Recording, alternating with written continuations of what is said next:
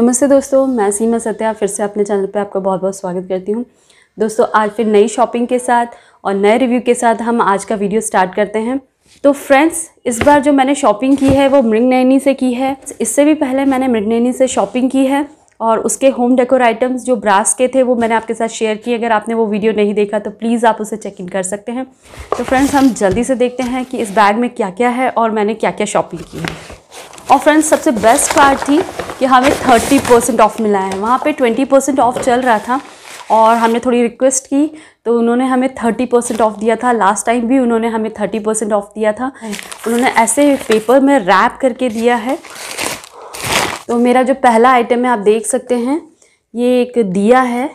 आप देख रहे होंगे ये बहुत ही खूबसूरत सा दिया है। और जैसे कि आप देख रहे होंगे कि इसके अंदर आप कपूर डाल के आप पूरा उसको जला सकते हैं। और फ्रेंड्स आप इसकी फिनिशिंग देखिए, कितनी खूबसूरत है।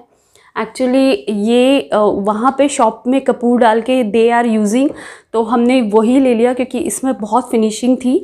फ्रेंड्स इसका ब्यूटीफुल पार्ट ये है, आप देख रहे होंगे, ये लॉर्ड कृष्णा है और उनके हाथ में बाँसुरी है।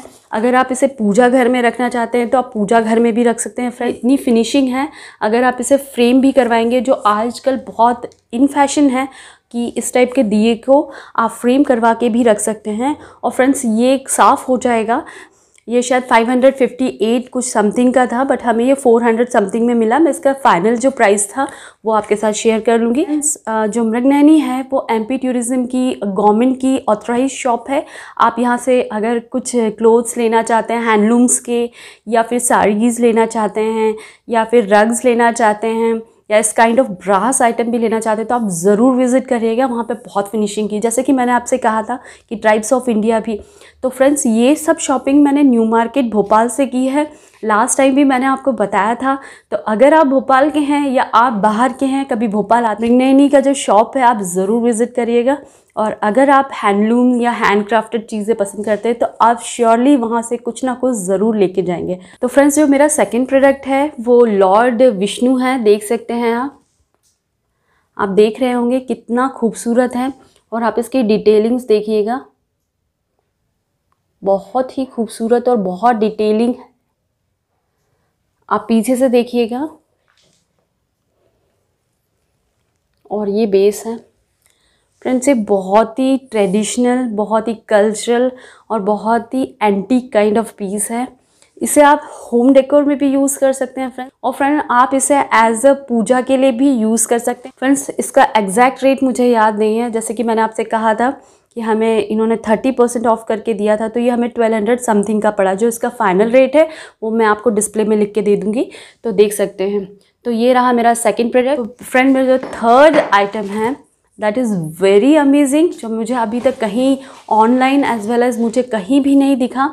तो फ्रेंड ये हमारा जो तीसरा आइटम है, आप देख सकते हैं, ये सरोता है। फ्रेंड्स आपने सरोता देखा होगा, ये बहुत बड़ा है और आप देख रहे होंगे, ये लार्ज काइंड ऑफ़ सरोता है और ये देखिए कितना खूबसूरत है। फ्रेंड्स इसे मैंने as a home decor purpose के लिए लिया है।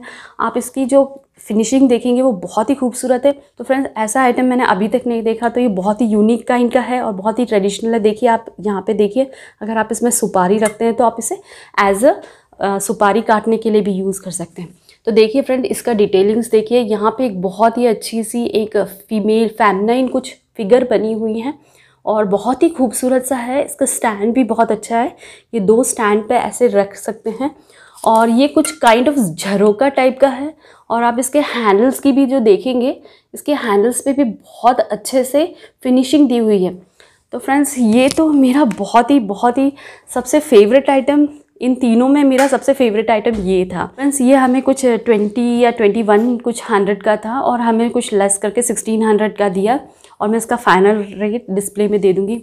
तो फ्रेंड्स आपको मेरा शॉपिंग कैसी लगी? अच्छी लगी तो लाइक ज़रूर कीजिएगा। कमेंट सेक्शन में ज़रूर बताइएगा कि आपको कौन सा आइटम सबसे ज़्यादा पसंद आया।